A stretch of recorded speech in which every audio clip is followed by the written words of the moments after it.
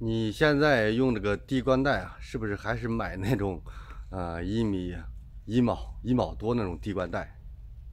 前两天我去买滴灌带，啊，基本上，呃，市场上都是这种滴灌带，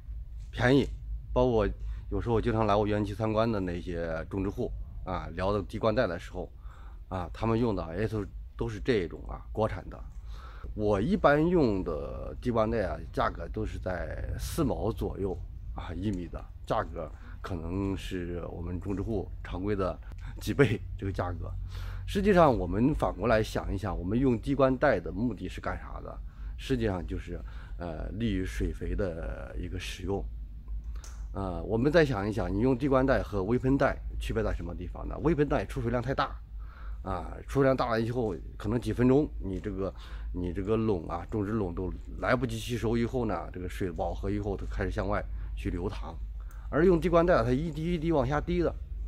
所以说呢，这个水呢，它不会浪费，不会来回跑啊，全部会就是引到我们这个种植垄上去，达到了一个降低呃施肥、降低浇水啊，再一个呢，降低了大棚的湿度。而国产的那种便宜的滴灌带，啊，你看它这个出口的口径啊，就是一个滴头，一个一个口啊，一小时基本上都在一点八升到两升之间的一个出水量。而为好一点的滴灌带呢，一般一个小时一个头出水量是在零点八升。实际上出水量越大，并不好，但是往往便宜的滴灌带，啊，想降低这个出水量，它是降低不了，因为这个出水量越低。这个技术要求也严格，啊，它这个制造成本越高，所以说我们种植户在买这个滴灌带的时候，可能感觉到啊，我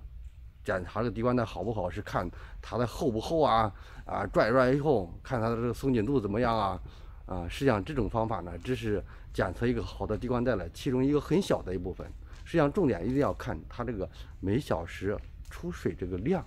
量越小。对于我们这个水肥一体化，那个精准施肥、精准浇水啊，越有好处。